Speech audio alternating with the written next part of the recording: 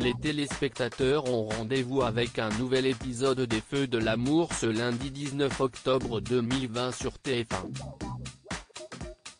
Les aventures des habitants de Genoa City seront à découvrir à 11h. Toute la télé vous propose de découvrir les intrigues phares qui composeront l'épisode.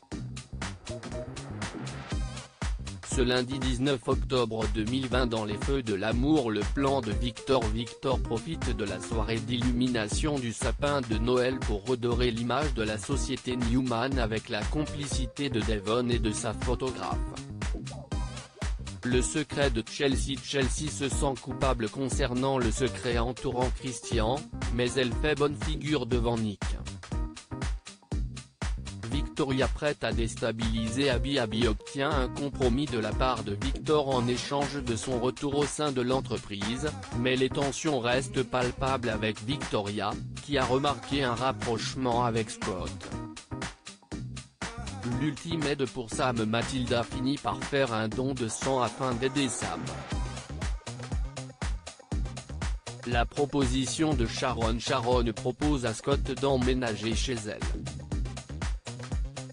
La proposition indécente de Victor Victor fait douter Noah à propos de Tessa et propose 100 000 dollars à cette dernière pour qu'elle s'éloigne de sa famille, ce qu'elle refuse catégoriquement. Et dans l'épisode du vendredi 16 octobre 2020 Nikki avoue à Victor que c'est à cause de son inadvertance qu'elle a permis à Tessa d'utiliser son arme. En parallèle, Chelsea et Nick décorent leur sapin en vue de leur fête. De son côté, Ashley souhaite continuer à fréquenter Ravi, mais en toute discrétion.